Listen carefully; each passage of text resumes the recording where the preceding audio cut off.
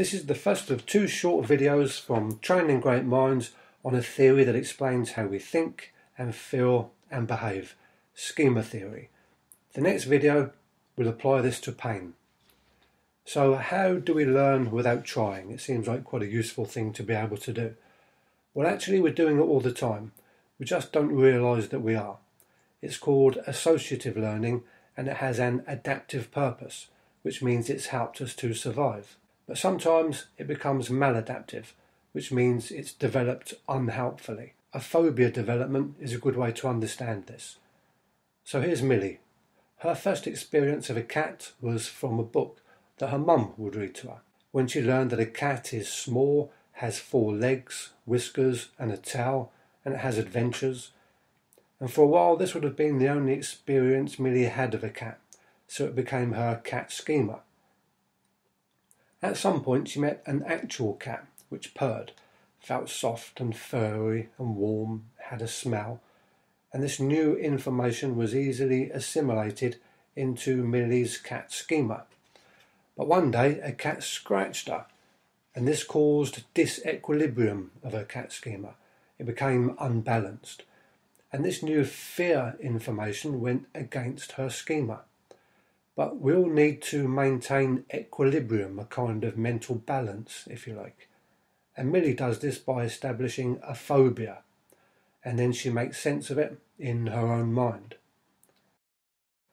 Meet Tilly. She's having a party, and Millie is invited, so that's nice. When she gets there, oh dear, Tilly has a cat, and this immediately grabs her attention, and she goes through a learned response of feeling and thinking and behaving.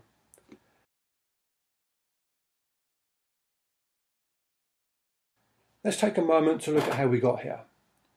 The developmental psychologist Piaget said that a schema is the basic building block of knowledge.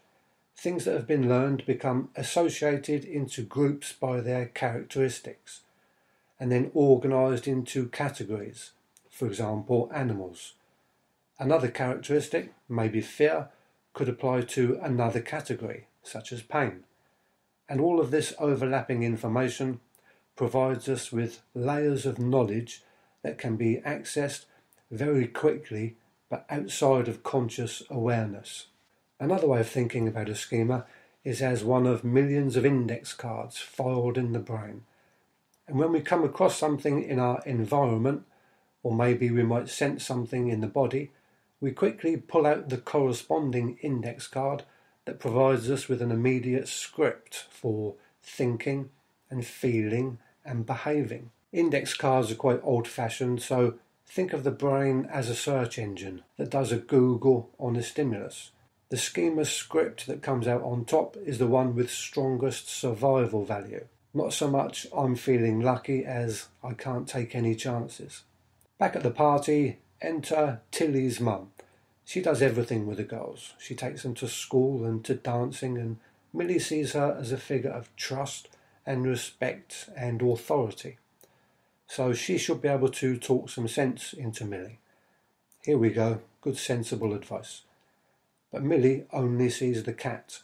Her brain does a Google and provides her with a script, and because of the fear, it overrides the respect and good advice of Tilly's mum. And every time she performs her cat schema, she strengthens it so it will always come out on top, even when she doesn't want it to, such as when she's grown up and realizes that cats aren't dangerous. Schemas can develop maladaptively, and a phobia is a simple example of this. That's not too much of a problem, but think about the consequences of our self schema developing maladaptively and how the beliefs that we hold about ourselves develop how our emotional responses develop, how our self talk develops. And think about our illness and pain schemas developing maladaptively and the scripts that are provided for us by these schemas. All schemas are self perpetuating, and so is chronic illness and persistent pain. They're difficult to change, particularly with direct advice, but like Tilly's mum, this is most often exactly what we use to change it. psychological skills training will alter the script and change the schema. I hope you enjoyed this video. The next one will explore the persistent pain schema and how mindfulness can change it.